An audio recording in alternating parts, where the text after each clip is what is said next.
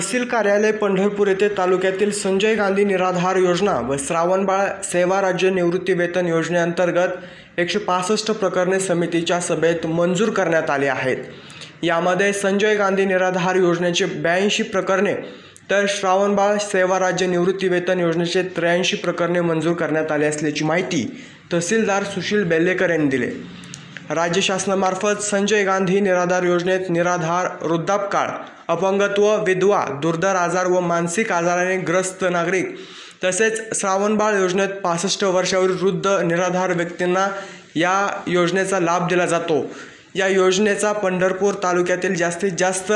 गरजू व पात्र लाभार्थ्यांना लाभ घ्यावा तसेच ज्या लाभार्थ्यांचा अर्ज अर्ज मंजूर करण्यात आलेला नाही आहे त्यांनी बँक पासबुकची छायांकित प्रत व फोटो तत्काळ तहसील कार्यालय पंढरपूर येथे जमा करावेत असे आवाहन तहसीलदार सुशील बेल्लेकर यांनी केले. आहे तालुक्यातील जे लाभार्थी संजय गांधी निराधार योजना व श्रावणबाळ योजना अनुदानाचा लाभ घेत आहेत अशा लाभार्थ्यांनी माहे जूनपर्यंत